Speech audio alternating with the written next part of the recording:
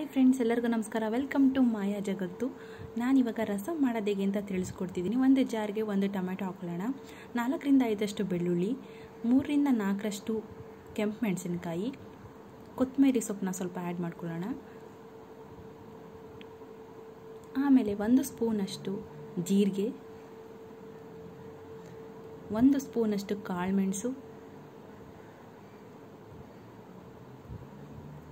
ಇದಕ್ಕೆ ಒಂದು ಲೋಟ ನೀರು ನೀರು ಹಾಕ್ಕೊಂಡು ಗ್ರೈಂಡ್ ಮಾಡ್ಕೋಬೇಕಾಗುತ್ತೆ ನಾವು.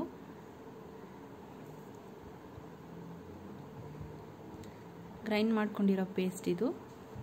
ಆನಂತರ ಒಂದು ಪ್ಯಾನ್ಗೆ ಒಂದು ಸ್ಪೂನಷ್ಟು ತುಪ್ಪ, ಒಂದು ಸ್ಪೂನಷ್ಟು ಸಾಸಿವೆ ಸಾಸಿವೆ ಚಿಟಪಟ ಅಂತ ಸಿಡಿದ ಮೇಲೆ ಒಂದು ಕಾಲು ಸ್ಪೂನಷ್ಟು ಹಿಂಗ್ ಹಾಕೋಬೇಕಾಗುತ್ತೆ, ಆಮೇಲೆ ಬೆಳ್ಳುಳ್ಳಿ ಹಾಕ್ಕೊಂಡು ಫ್ರೈ ಮಾಡಬೇಕಾಗುತ್ತೆ, ಆಮೇಲೆ ಕರ್ಬೇವಿನ ಸೊಪ್ಪನ್ನ ಹಾಕ್ಕೊಂಡು ಫ್ರೈ ಮಾಡಬೇಕಾಗುತ್ತೆ.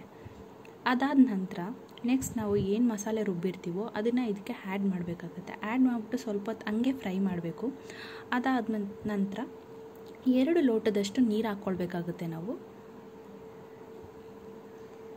ಆಮೇಲೆ ರುಚಿಗೆ ತಕ್ಕಷ್ಟು ಉಪ್ಪು, ನಮಗೆ ಯಾವ ಥರ ಬೇಕೋ ಆ ಥರ ನಿಮ್ಮ ಟೇಸ್ಟ್ ಕಣ್ಣುಗಳ ಬಗ್ಗೆ ಹಾಕ್ಕೋಬೇಕಾಗುತ್ತೆ ಚೆನ್ನಾಗಿ ಮಿಕ್ಸ್ ಮಾಡಬೇಕು.